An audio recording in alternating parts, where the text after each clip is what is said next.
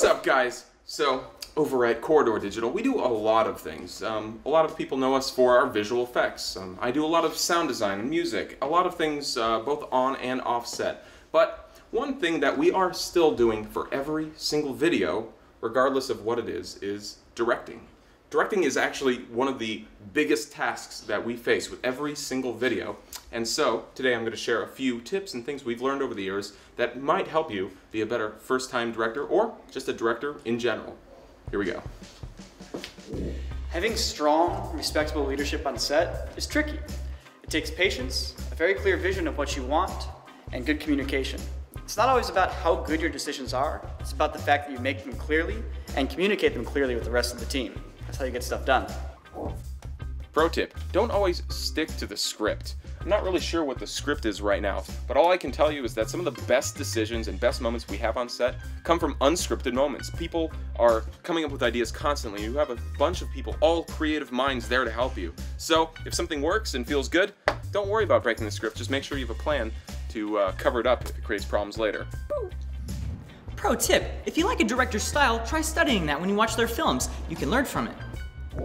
Film sets are very chaotic, hectic places sometimes. And you have maybe people asking you all questions and need answers, but sometimes you need to just take a moment, make a clear decision, and that's okay. Even though there's a rush sometimes or you're trying to get things done, it's much better to take your time and make a good decision than rush it and make a bad one. So always keep that in mind. So communication is key when working with people, and as a director, you want to make sure you can do that clearly. You can do that either through a, a shot list before coming to set, a storyboard, or you can go as far as making a pre-vis, pre-visualization, a rendering of what you want to do. But regardless, each of these ways helps communicate the idea, the final vision, and the final goal, and you may want to consider picking one of these three as your method of choice. When we write a scene, we often think of it from the camera's point of view, but oftentimes directing and operating the camera at the same time is not ideal. It can lead to you focusing a lot more on your framing and your camera work than the actual performance, which is what matters at the end of the day. So try to reach out to somebody and find someone else to help you shoot, because you'll need them at times. Pro tip, you can use your fingers to set up shots, or you can get really high tech and use a viewfinder. This little tool has cool settings that simulate different focal lengths, aspect ratios, and all the other things you get when you look through a camera. So, when you're on set, use this to plan out your shots. Time is a very finite and valuable resource, and you will often find that you don't have a lot of it.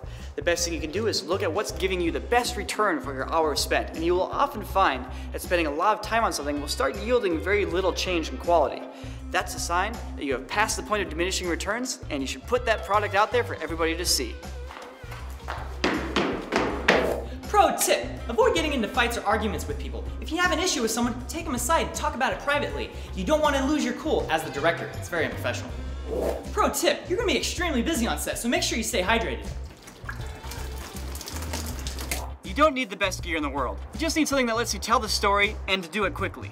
As long as the audience isn't distracted, you're good.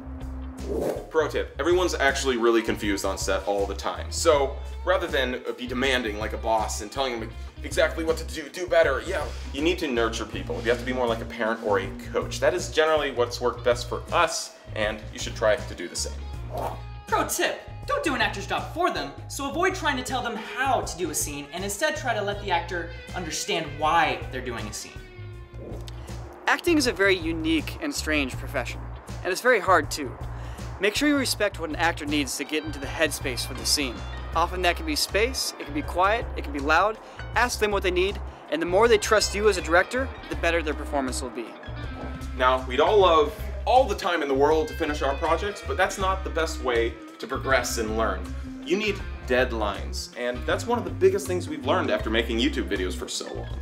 Every single time we finish one and execute one, we have something to learn from because it's done. We can sit there, we have reactions, and we have our own critiques. So make sure when you are working on something, don't stagnate it. Pick a deadline and move on. That's the best way to figure out what to do next.